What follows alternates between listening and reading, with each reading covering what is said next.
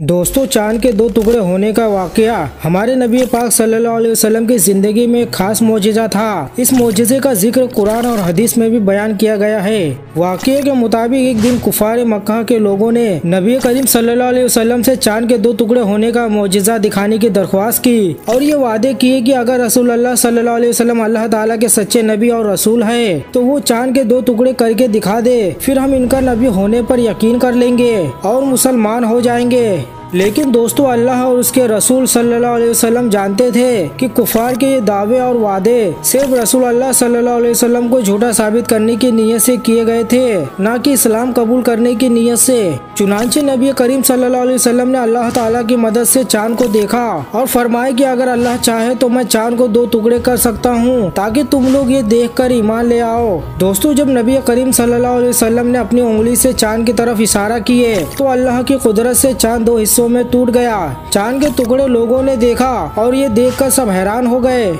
दोस्तों, कुरान करीम में सूरह कमर की आयत नंबर चौवन में अल्लाह ताला ने अपने हबीब सल्लल्लाहु अलैहि वसल्लम के मोजिजे का ज़िक्र इस तरह किया है कि क़यामत करीब आ पहुँची और चाँद फट गया।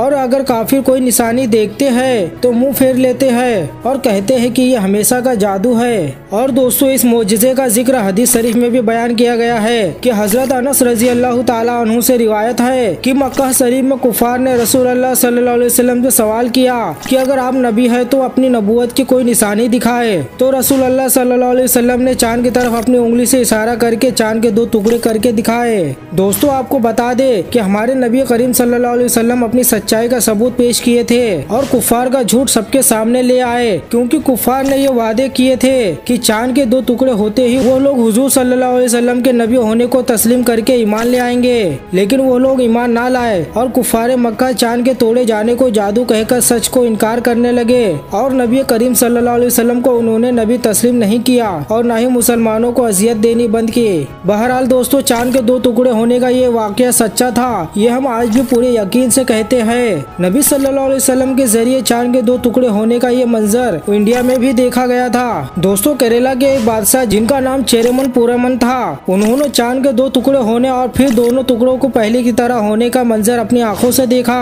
और कुछ अरसे बाद उन्होंने मदीना में जाने का इरादा बनाया और वहाँ पर पहुँच कर हजूर अलैहि वसल्लम के हाथों इस्लाम कबूल कर लिए और कुछ दिनों बाद हजूर अलैहि की हिदायत पर वो मलिक बिन दिनार और कुछ साथियों के साथ अपने वतन हिंदुस्तान रवाना हुआ, जिस दौरान रास्ते में यमन के बंदरगाह के नज़दीक उनका इंतकाल हो गया। इंतकाल से पहले बादशाह ने अपने दोस्त जो हिंदुस्तान का राजा था, उनको खत लिखकर मलिक बिन दिनार की मदद करने के लिए कहा था।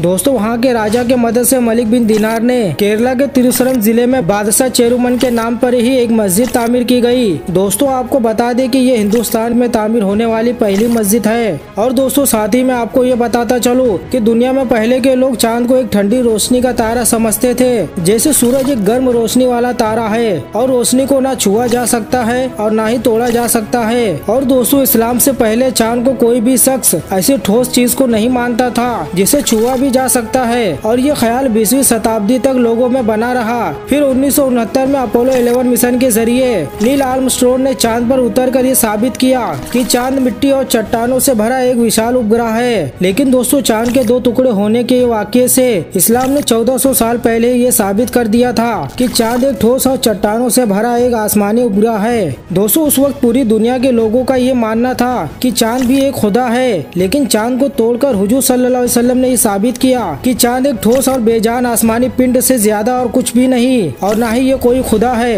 दोस्तों, चाँद के दो टुकड़े होने को लेकर कई लोग इस पर सवाल उठाते हैं कि अगर 1400 साल पहले चाँद को तोड़कर जोड़ा गया था तो इस बात के निशान भी चाँद के सतह पर मिलने चाहिए थे। दोस्तों, हमारे पास नासा के ज़रिए लिए गए चाँद की सतह की कुछ तस्वीर है। आप इस तस्वीर में देख सकते हैं, जिनमें चाँद की सतह पर एक बड़ी सी दरार दिखाई पड़ रही है, जैसे किसी टूटी हुई चीज़ को दोबारा जोड़ने पर बन जाती है। और दोस्तों, आपको बता दें कि साइंस अभी भी चाँद के सतह के बारे में मालूम इकट्ठा करने में लगी हुई है। दोस्तों, हम जानते हैं कि विरोधी मोदी इस तस्वीर में दिखाए गए दरार के होने के भी अलग अलग अनुमान निकालेंगे। पर चाँद के दो टुकड़े होने की बात नहीं मानेंगे।